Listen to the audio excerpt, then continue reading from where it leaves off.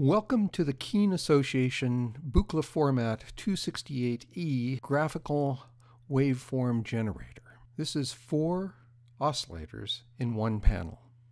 I'm just going to be looking at one oscillator for the bulk of this tutorial. I'll bring in a second oscillator right at the end. I think of its format in the way I think of a photon, which is both a wave and a particle at the same time. This is a wave shaper and a tape player at the same time.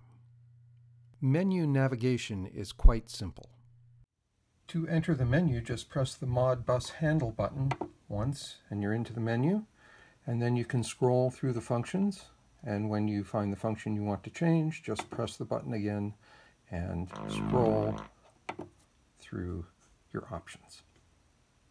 To return to the main window, just hit the Steady button. The window shows the tape and tape speed, as I'll show you in a moment, and drawing. In continuous mode, once activated, the tape keeps rolling and you draw different wave shapes onto it.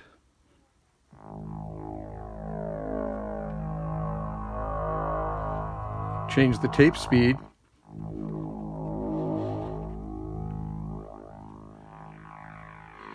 and then you can freeze a wave shape you like. In motion detector mode, it's waiting for an impulse.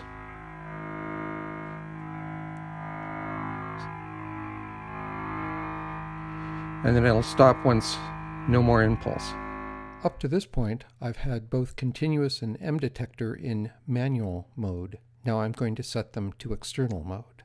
Now the fun begins. I can use an external envelope LFO, in this case the 281E, and send it to the wave drawing knob.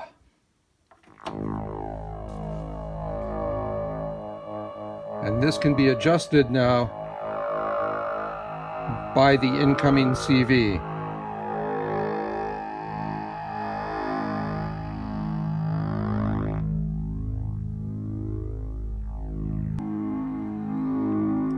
And of course you can freeze the wave shape by hitting the steady button.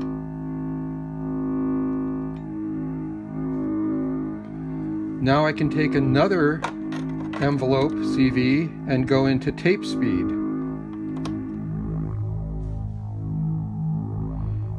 So I can change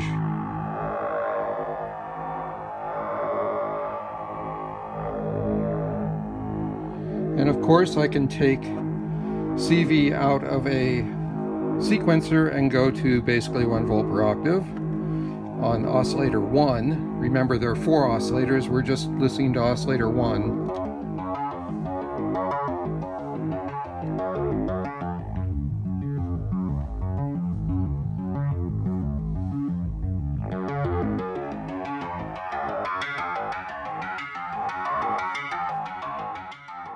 Can send the pulse out of the sequencer to ping that envelope.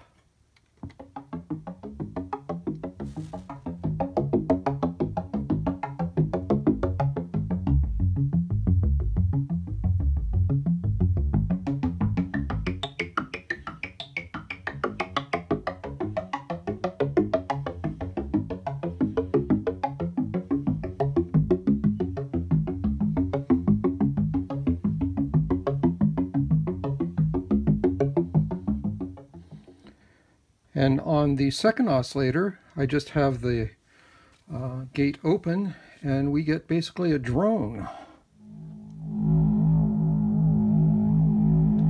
And as the wave shapes change, uh, the timbre of the drone changes.